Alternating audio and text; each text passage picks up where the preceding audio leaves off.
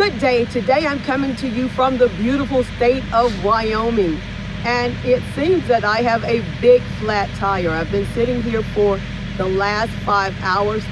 Thank the great holy Lord that this rest stop was very close to when I got a flat tire. I'm hearing from the company right now. I am out here to find out the size of a tire.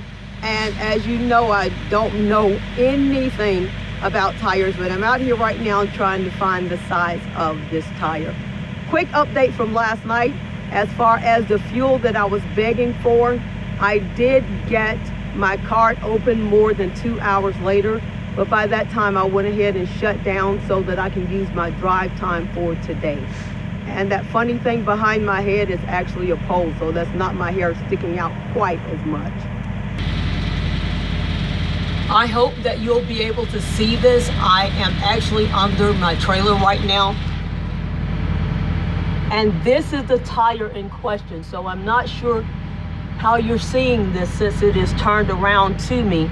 But this is the tire. And as you can see, it has mostly come off of the rim. Hopefully you can see this.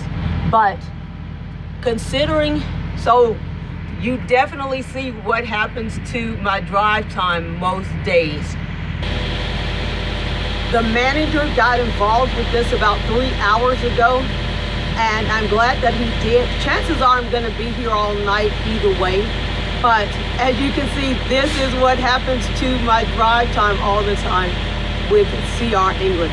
Wish me luck on this tire. God bless you and enjoy an amazing day.